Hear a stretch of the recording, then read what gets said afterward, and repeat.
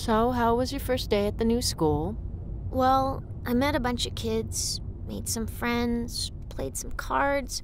I fought a bully, got caught, got detention, got everyone's favorite game banned. All the kids hate me.